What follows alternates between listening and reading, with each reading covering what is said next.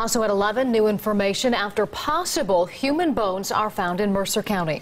Investigators are draining a ditch near Grand Lake St. Mary's near Celina. The sheriff telling us tonight they're over collecting possible evidence just in case those bones are in fact human.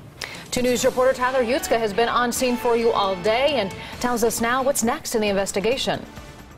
Well, Mark and Katie, as you can see behind me, the Mobile Crime Scene Investigation Unit remains on location tonight. That's because tomorrow investigators will be back here bright and early searching for more clues.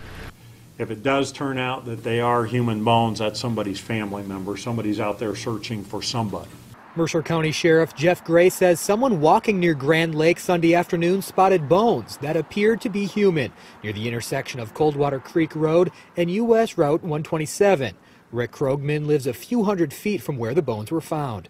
But like I said, I enjoy walking around the lake, and to find something like that would be very unusual. Sheriff Gray says once on scene, deputies and the county coroner thought the bones were from an animal. It's an area where sometimes there's some dumping that goes on out there and people will dump deer carcasses and things like that. But says they weren't about to rule out the possibility of the bones being human and sent one to the Montgomery County Coroner's Office for examination. Those doctors obviously at this point can't confirm, but they believe there was a high probability that it was a human bone.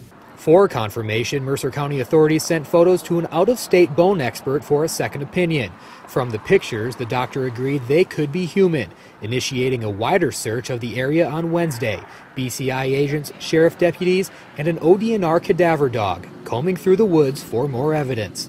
And we have to do everything we can to, to determine who it is and find out what happened. I mean, we walk along, somebody find them, something like that you know, it's kind of common to see animal bones around here. We're in a very heavily deer populated area and uh, wildlife, but uh, yeah, it would make you wonder a little bit.